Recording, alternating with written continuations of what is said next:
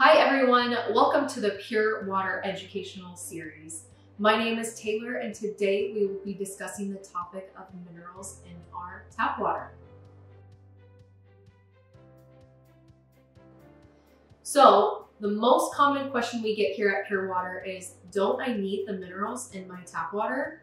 The answer to that is no, you do not.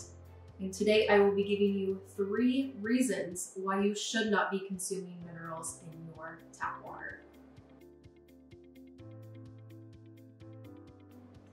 The first reason is that minerals in our tap water are actually inorganic minerals. These are minerals that are not bioavailable, which means our bodies cannot absorb or utilize them. In fact, these are actually just rock deposits that you've probably already seen in your home. It's what you might find at the bottom of your tea kettle or around your sink, faucets, and drains. The minerals that our bodies need actually come from an organic source, which means that they are bioavailable. Examples of organic sources may include fruits, vegetables, healthy meats, or supplements that our doctors recommend.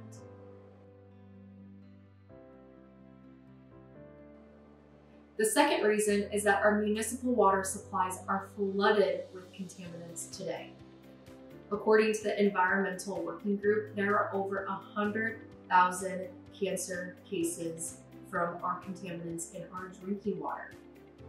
Some contaminants that can be found in drinking water may include arsenic, lead, nitrates or nitrites, and radioactive contaminants. Just these contaminants alone have been shown to lead to illnesses and disease. And just because you live in a first world country does not mean you are not at risk of consuming bacteria and viruses in your water. Examples of these contaminants can include E. coli and Giardia.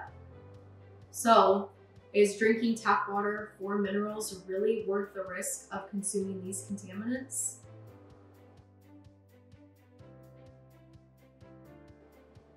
The third reason is that even if minerals in our water were beneficial, it would be impossible to get your recommended dietary allowances from just drinking water.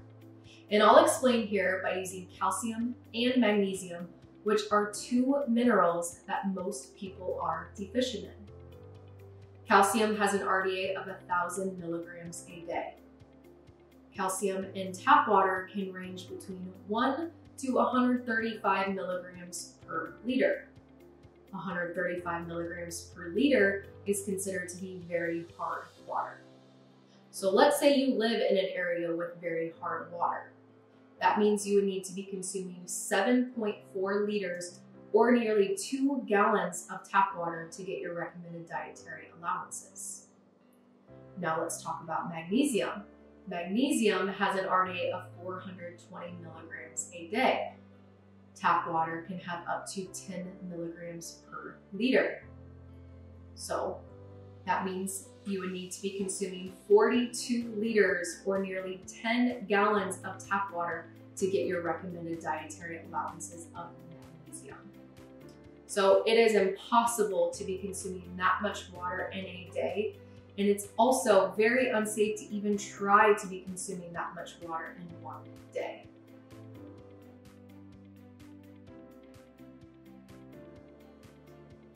Ultimately, it's up to you to decide what's best for you and your family.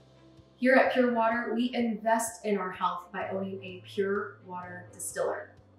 It removes over 99% of contaminants and it's built right here in the USA, so you know you're getting a high quality machine. And the great thing about distilling your water is you are in control of what's in it. You get to decide if you want to add liquid minerals, electrolytes, or just drink pure H2O. That is completely your choice. If you're ready to invest in the best water distiller on the market, check out our website at mypurewater.com.